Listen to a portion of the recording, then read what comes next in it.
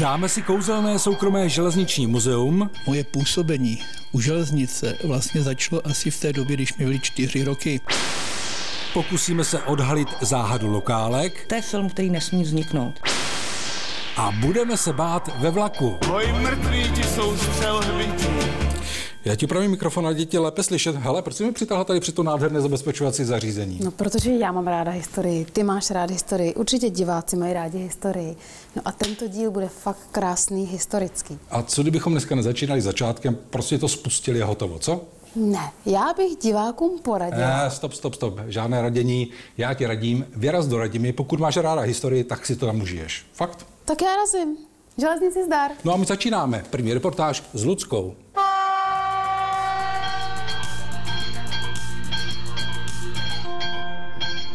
Báv, zdravím vás už z Radimy ze soukromého muzea dráhy od pana Kapitoly. Vypadá to skromně, ale je to úžasný. Pojďme se podívat na první reportáž. Velká pecka.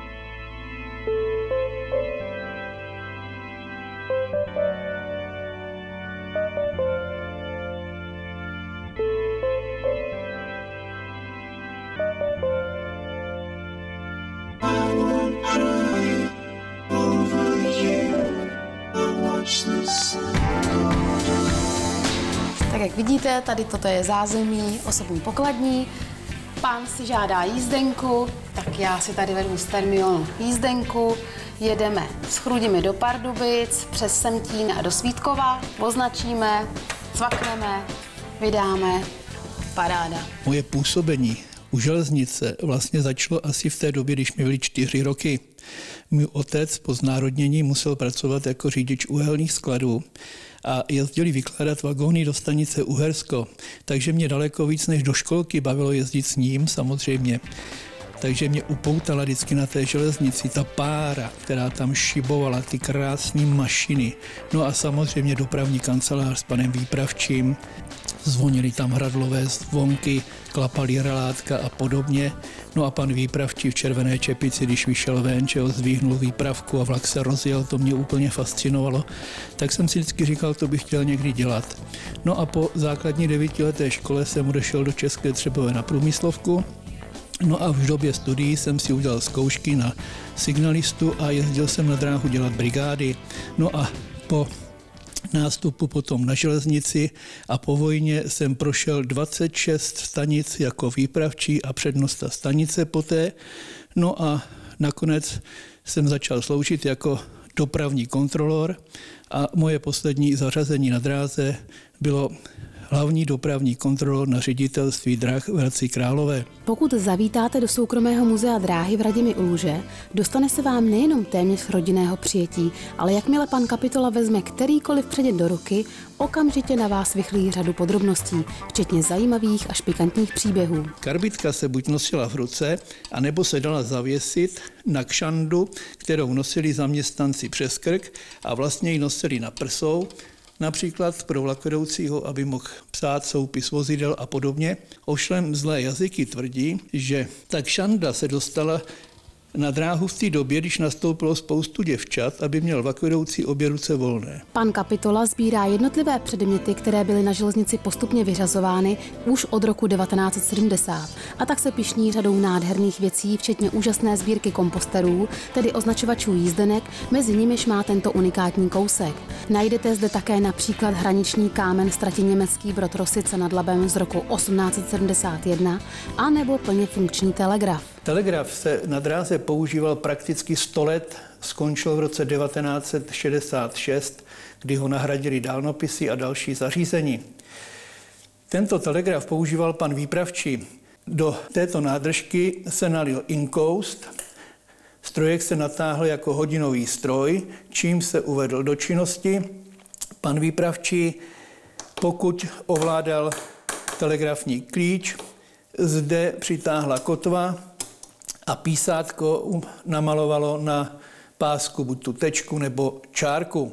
Co se týče písemných a fotografických materiálů, u pana Kapitoly najdete opravdu úžasné věci. Toto je například text slibu zaměstnanců drah z června roku 1940, kteří museli přísahat věrnost Adolfu Hitlerovi a velkoněmecké říši. Tady už se díváte na dobové fotografie mimořádných událostí či dokumentační snímky toho, jak vypadala dvorana na Pardubickém nádraží, než byla v srpnu roku 1944 zničena po zásahu bombou. Tuto malou knížku Nové návěstí na československých železnicích vydala dráha v roce 1954 u příležitosti změny návěstních předpisů. A jak sami vidíte, začínal v té době autoblok, aby zaměstnanci pochopili, snáze je zde návěs mechanická i návěs na elektrickém návěstidle. Muzeum pana Kapitoly to nejsou jen exponáty, na které se nemůže sahat, ale také ty, které si o vyzkoušení úplně říkají. Třeba takový růžkový odpojovač. Jsem neohrabaná s těma rukavicema, ale tak, odemkneme. No, má to sílu, ale jsem silná žena. Tak, jak vidíte, zapnu to. Vypnu to. A musím samozřejmě zamknout. Takže... Tak. A Hotovo. Na závěr naší návštěvy ještě jedna milá věc. Kromě vyloženě železničních artefaktů se v muzeu můžete podívat také na to, jak žila taková rodina pana přednosty. Takže rádia, gramofony, mixéry, váhy a další a další věci si můžete prohlédnout. Tady to jsou pikniková kamínka paní přednostové. Tímto se dal před plamen na jednu stranu nebo na druhou stranu. Měli jsme velký hrnek, tak se rozdělala kamínka, aby se tam vešly třeba dva hrnky. Zde paní přednostová krásně viděla plamen. Přátelé, pokud vás zaujala tato reportáž, pak vězte, že jsme do ní nedostali ani 5% toho, čím vším soukromé muzeum dráhy disponuje. Ku příkladu, viděli jste někdy přenosnou čubu nebo návěst X? Ne? Pak neváhejte kontaktovat pana kapitolu a domluvte si návštěvu v jeho muzeu v Radimě u Luže. Budete unešeni.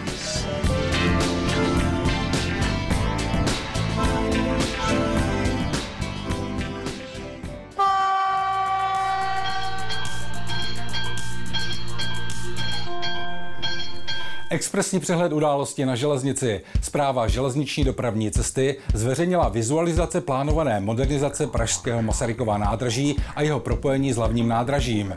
Namísto původně plánovaného podchodu chce zpráva železniční dopravní cesty Masarykovo nádraží zastřešit a mimoúrovňově propojit přes ulice na Florenci, Hybernská a Opletalova s hlavním nádražím. Propojení nádraží by mělo přijít na téměř 1,7 miliardy korun.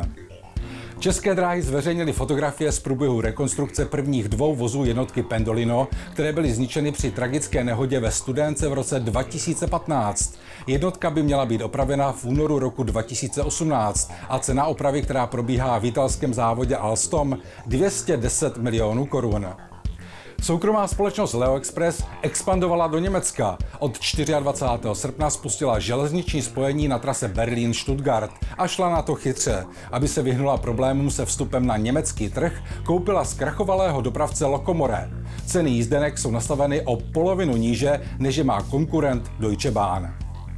Společnost RegioJet vypravila svůj nejdelší vlak ve své historii. Měřil téměř půl kilometru při počtu 18 vozů plus lokomotiva. Vlak mířil do Rumunska na hudební festival Banát, pořádaný místní početnou českou komunitou. Tak vozy máme eh, jednak svoje, to je šest vozů žlutých, Potom máme devět vozů modrých od českých drah a českých drah Cargo a tři vozy od Kladenské dopravní a strojní. No tak je to takové malé dobrodružství připravit ten vlak tak, aby, aby dojel, aby byl projednán se všemi ostatními železničními zprávami až, až na břeh Dunaje. I když před revolučním rokem 1989 jezdili po našich kolejích i delší vlaky, ten od RegioJetu způsobil nebývalý zájem kameramanů a fotografů hlavně mezi mladšími ročníky, kteří si něco podobného nemohou pamatovat.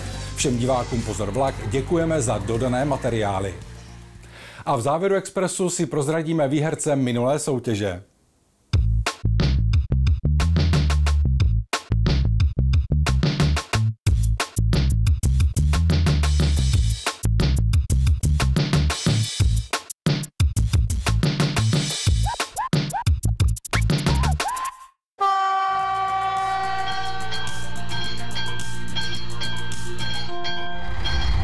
to povolené? Ano, určitě.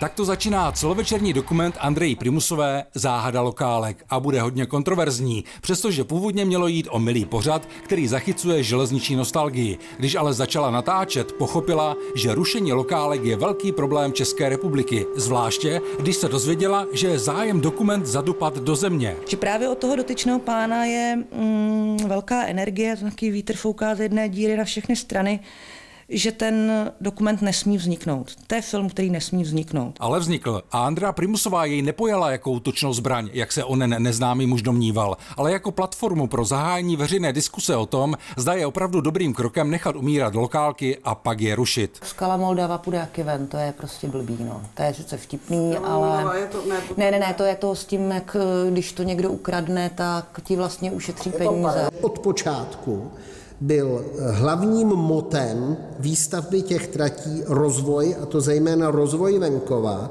nikoli zisk těch, eh, těch eh, provozovatelů, vlastníků a budovatelů. Tehdy se vědělo, že kam vedou koleje, tam je prosperita. A eh, cílem i státní zprávy bylo tu prosperitu dotáhnout na venkov. Kde je prosperita je vzdělání, kde je vzdělání je klid, lidi se mají dobře. Očekávám velkou vlnu kritiky, to rozhodně, protože tam není všechno a zaměřili jsme se na tohle a měli jsme se zaměřit na tohle. To je asi vždycky, ta problematika je relativně kontroverzní. Doprava zásadně má za úkol ty lidi přemístěvat. A ve chvíli, kdy e, současný stav dopravy je o tom, že lidi se nepřemístují a jezdí auty, protože se v podstatě nikam nedostanou, protože neexistuje návaznost té dopravy, no tak to je katastrofa, ta doprava prostě kolabuje. Začínali jsme Kralovice Mladotice, to je takový exemplární příklad. Byli jsme v Zubrnicích, to jsem znala z dřívějška, ten, že jsem věděla, že tam ta levínská tráť, že to je jako zrušená. Byli jsme na, na Olomoucku, na Pardubicku. Naši předkové zde vybudovali kvalitní, smysluplnou a efektivní železniční síť. A není právem jedné politické generace zrušit to, co zde 176 let e, máme. Stát podcenil význam železnice, to si myslím, že víme všichni asi i eh, je to spojení trošku s naší pohodlností, s tou ochotou eh, jako trošku ustoupit na tom, že chci být někde první. Toto je kozí dráha. Právě jdu po kolejích jako náhradní pěší doprava, protože sem ani autobusy už nedostaneme. Žádná strana nemá ve svém zájmu nebo volebním programu žádná napříč politickým spektrem nemá mm, regionální tratě, respektive lokálky ve svém volebním programu. Lokálky nikoho nezajímají. První fáze je ta, že, že se nějak omezí vlaky, a zavedou se tak nějak autobusy, aby je líbí jak ty vlaky. To už je takový, jako, aby jsme ty lidi odnaučili jezdit vlakem a co nejvíc motivovali jezdit tím autobusem. Druhá fáze je taková ta, co je jako zlomová, že ten vlak zruší oni řeknou, vlastně se nic neděje, protože ty autobusy, které jako potřebujete, ty vám tady všechny necháme, nebo jich jezdit ještě víc, protože ten vlak byl drahý. No a když se lidi nechají ukecat, tak e, ze 14 autobusů je příští rok 12, pak 8, pak 6 a pak tam dojedu za 10 let a autobusy jsou dva. Začíná to a končí to samozřejmě na ministerstvu dopravy, ale to taky samozřejmě podléhá nějakým trendům. Ten trend toho rušení jde od 30. let. Ten zásadní problém spočívá v nekoncepčnosti e, provozu regionální dopravy. Že si tu lokálku zpráva železniční dopravní cesty a krajská vedení přihazuje jak horký brambor. Což je to, co říká, my to, ne, my to mm, jakoby my potřebujeme objednávku od kraje a kraj řekne, ale mm, já to nemůžu objednat, protože trať je mm, stará, nezrekonstruovaná něco. A takže se to přihazují jako horký brambor a vzhledem k tomu, že není zájem prostě o ty lokálky, tak tím pádem to pomalu usíná a uvadá, až ta lokálka zanikne. Začne se o lokálkách konečně vážně jednat? Vznikne konečně koncepce dopravy počítající s lokálkami? Celovečerní dokument Záhady lokálek má tuto ambici. Jasně, no, jsem idealistka, takže doufám, že prostě, když se otevře, otevře když se to téma otevře prostě v širší veřejnosti, tak se rozvine nějaká diskuze. Pokud budete chtít právě dokončovaný dokument, který vznikal od února 2016 zhlédnout, první šanci budete mít 23. září v rámci Národního dne železnice v Bohumíně. Další termíny sledujte na facebookových stránkách pořadu Pozor vlak. I když jsme film ještě neviděli ve finální verzi, máme pocit, že bude hodně a dovolte nám ten výraz výživný.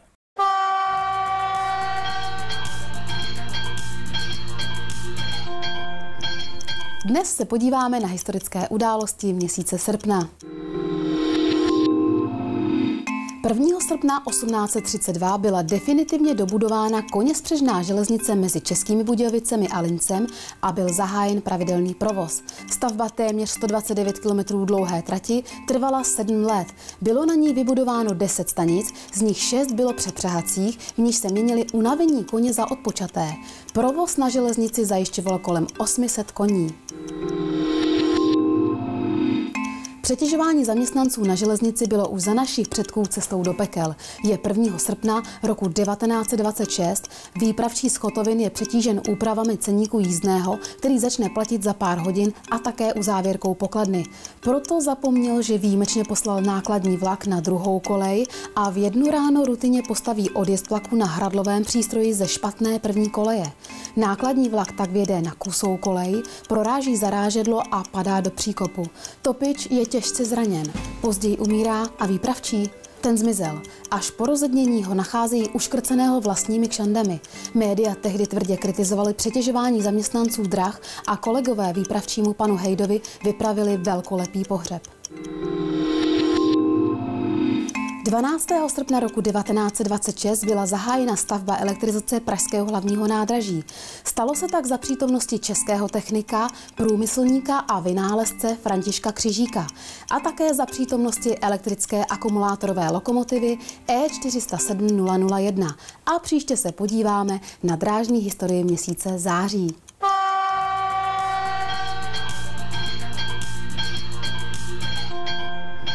Řeklo by se hezký podvečer na nádraží v Lovosicích. Jenže už jen přítomnost kredence, který se chystá výjimečně ve všední den na švestkovou dráhu dává tušit, že se tu děje něco nezvyklého. On se totiž kredenc nachází nejen na kolejích, ale další kredenc tvoří opravdu úžasné věci ve vlaku. A květiny, luna, hvězdy koří se tobě.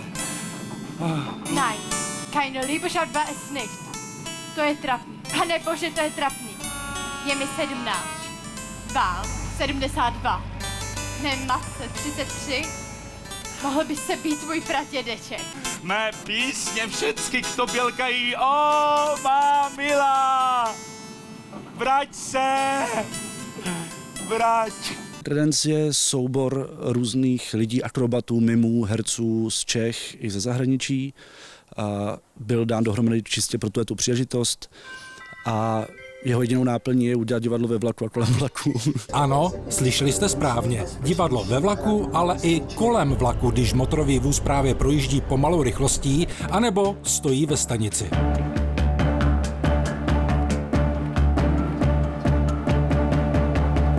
představení, protože se jmenuje Credence, díky tomu, co tady vidíte, motorové jednotce 831, která se taky přezdívá Credence a zároveň nám to evokuje Credence u babičky, ze který taháte různý předměty, různý témata, které se týkají středohoří. Takže jedeme přes Třebí ulice, že máme vztah Ulrike von Levensov a Johana Wolfganga Goethe. Na zpátek jedeme už za tmy, takže je to ladění víc hororový. A je tam hlavně poema Lenora, německá poema, která je o mrtvém vojákovi z prusko-rakouských válek. Zde v Lovosicích byla velká bitva v roce 1856 a je to něco jako svatý Týtice. Před oři, ať jsme v cíli, než slunce nohy roztrhá. Před oři, naber síly!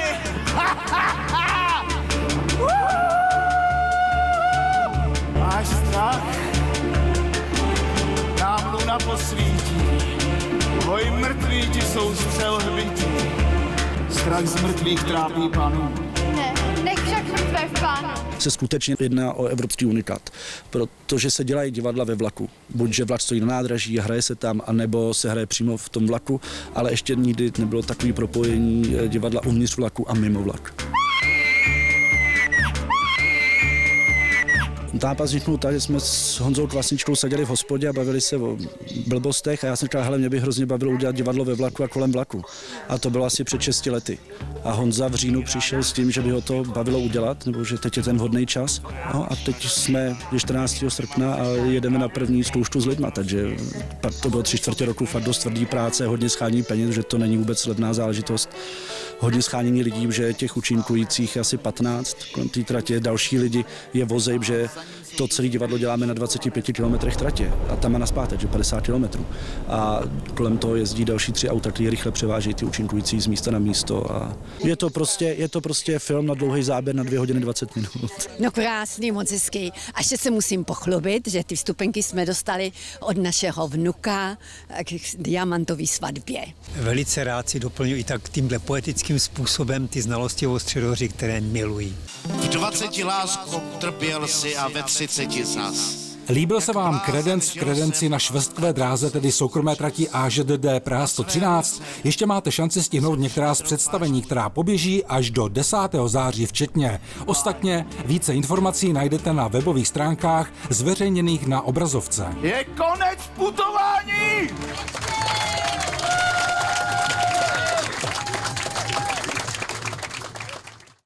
Pozor, vlak má sice pouhých 30 televizních minut, které si můžete kdykoliv osvěžit v archivu YouTube, ale na sociálních sítích s námi můžete pobít nekonečně dlouho. Přijďte za námi na Facebook, Instagram a Twitter. Zdraví vás Lucie A Jura, železnici zdar.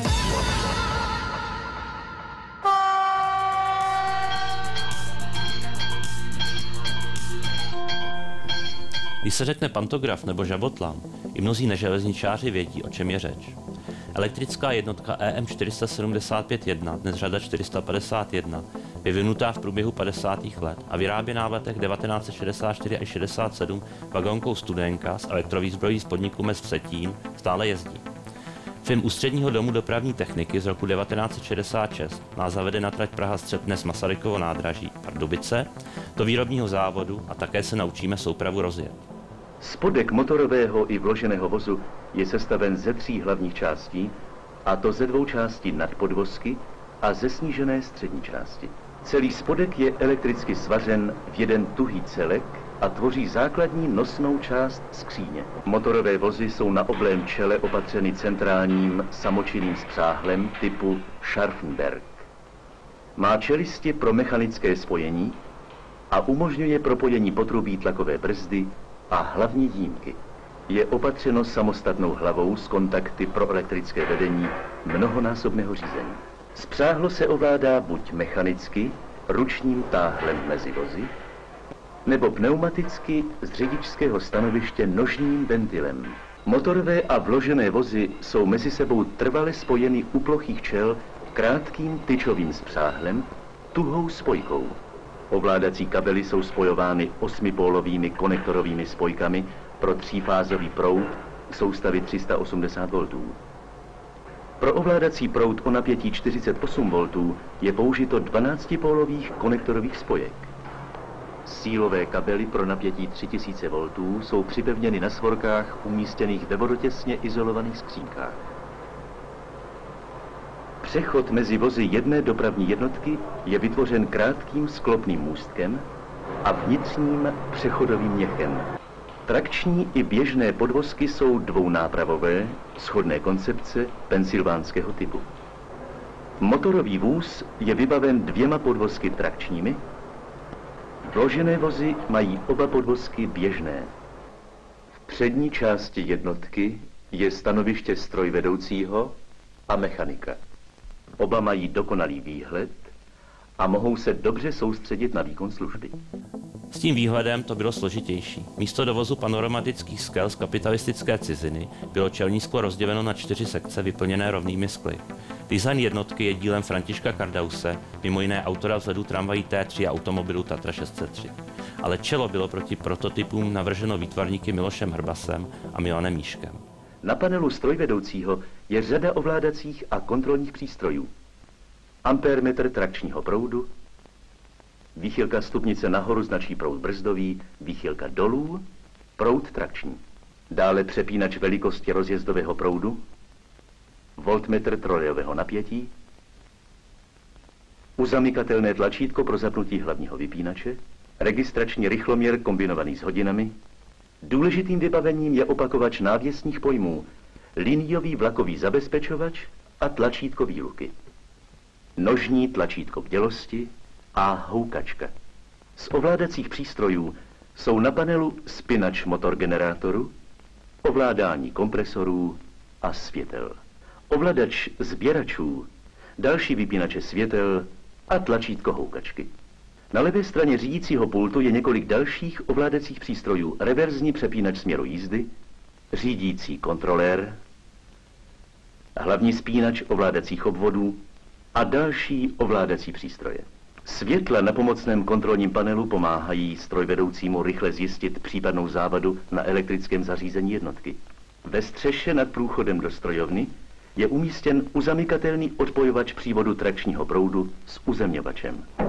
Jeho rukojeť je zajištěna zámkem, ze kterého lze vyjmout klíček jenom v poloze uzemněno. Teprve potom lze otevřít další skříně strojovny. Soupravy byly v prvním desetiletí značně poruchové. Byly na nich provedeny stovky konstrukčních úprav. Také stanoviště strojvedoucího se do dnešních dnů trochu změnilo. Registrační rychloměr je digitální, měřící přístroje byly částečně vyměněny a dosazena byla vysílačka traťového rádiového spojení. Jedním z nejdůležitějších přístrojů, který umožňuje samočinné řízení elektrické jednotky, je zařízení AREL, to je automatická regulace elektrických lokomotiv. Je vybaven magnetickými zesilovači, transduktory, kterých se užívá jako měřících a ovládacích členů. Jedním z hlavních elementů tohoto zařízení je rozjezdové relé, které řídí plynulý rozjezd jednotky. Řidič udělí pouze výkonný povel a další ovládání rozjezdu je řízeno už zcela automaticky. Magnetický zesilovač neboli transduktor je předchůdce tyristoru a pracuje díky magnetické indukci. Malým stejnosměrným proudem můžeme ovládat velký proud střídavý. Dnes se stále používá v měřicích obvodech. Dopravní jednotky jsou spojovány do vlaků, které jsou řízeny vždy předním stanovištěm. Na všech technických jednotkách musí strojvedoucí provést několik úkonů, především odzemní, spinač baterie přestaví do polohy zapnuto, přepínač napájení do polohy napájení vlastní jednotky. Spínač řízení dále přepne z polohy 0 do polohy Z. Měnič směru je v poloze U. Na stanovišti, ze kterého je řízen celý vlak, přepne strojvedoucí měnič směru do polohy 0. Tím se zapojí řídící obvody jednotky. Červená kontrolní žárovka na čelním pultu signalizuje poruchu. Na panelu signalizace poruch se rozsvítí červená žárovka, která ohlašuje ztrátu trolejového napětí. Bílá žárovka označuje vypnutí hlavního vypínače. Strojvedoucí stlačí a otočí klíčkem spínače na čelním pultu. Tím se na všech jednotkách zapnou hlavní vypínače a kontrolní žárovka zhasne. Spínačem v uličce strojovny se uvede do chodu pomocný kompresor. Jakmile tlak v jímce dostoupí na tři atmosféry, může se první sběrač zdvihnout. Voltmetr ukáže připojení jednotky na trolejové napětí. Pomocný kompresor se musí včas vypnout. Spínačem motorgenerátoru se uvede měničové soustrojí do polohy zapnuto a tlačítkem se dá povel k rozběhu stroje. Strojvedoucí potom zapne spínač kompresoru pro samočinný chod. Když tlak vzduchu dosáhne v hlavních jímkách 4 atmosfér, strojvedoucí stlačí opět tlačítko a motorgenerátory se v ostatních dopravních jednotkách rozběhnou. Jejich sběrače se po načerpání hlavních jímek zdvihnou samočině. Správný chod motorgenerátoru signalizují kontrolní žárovky poruchy. Nesvítí žádná, je tedy všechno v pořádku. Také ostatní měřící přístroje ukazují normální stav. Trolejové napětí je na 3000 V. V hlavní jímce je tlak atmosfér 8 a také motorgenerátor má správné napětí i nabíjecí proud. Po zkoušce brzd je elektrická motorová jednotka EM 475-1 připravena k jízdě. Nová elektrická motorová jednotka EM 475-1 je v provozu vítána jak cestujícími, tak i železničáři. Vždyť pro obě strany představuje ve své třídě vysoký technický standard, který je srovnatelný s jinými podobnými výrobky evropských drah. Rok 2017 je asi posledním rokem nasazení jednotky v pravidelném provozu. Je to úctyhodný výkon, jestliže jejich plánovaná životnost byla 15 let. Z původních dislokací v Praze, Ústí nad Labem, Bohumíně a Košicích byly postupně staženy do Prahy. V novém tisíciletí jezdili krátce i na Olomoucku. Jednu soupravu České dráhy vyčlenili v roce 2010 již jako muzejní. Příští návraty? Podíváme se na film Chyba znamená smrt.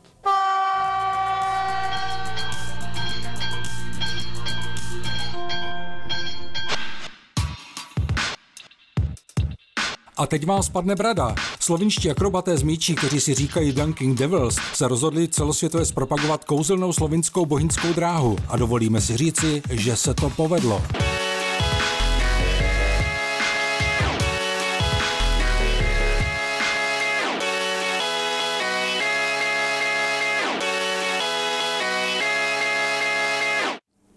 Taky se vám líbila ta zarážka, no, byla úžasná, efektní, ale prosím vás, vy to neskoušejte. A protože se řítíme do závěru, tak si dáme soutěž, ptáme se na otázku, jak se jmenuje dokumentární projekt Andreji Primusové o zanikajících lokálkách. No a pokud znáte odpověď, tak odpovídejte na uvedené adresy na obrazovce a to do 15. září 2017. No a my? Hrajeme o tři trika ještě, prozradíme. To je všechno, mějte se krásně a železnici zdar. A my to zůstáváme, protože opět dále natáčíme. Jedeme dál. Tak jo. Tak jedem. Jsem pořád hubený. šlank, naprosto šlank. 30 řízků. Tam zase bude dávat, úplně to 30 řízků saláty, ale pořád jsem hubený. Pořád svých 110 kg. Taky bych chtěla stále takovou pěknou váhu jako 110 kg. Dobrý den, já vás poprosím o krátké představení kapitol. Pardon, jsem To je ta slivovice. Ona měla slivovici. No,